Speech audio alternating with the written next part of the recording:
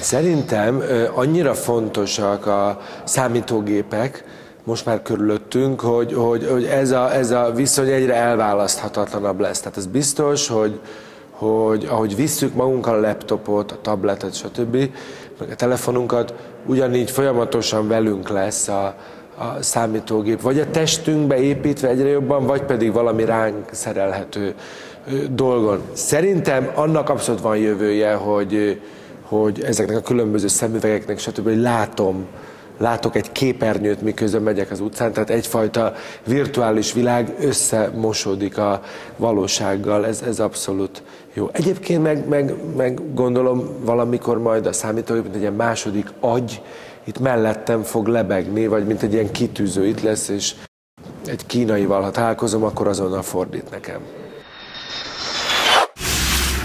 Tillatársa a munkában a Dell.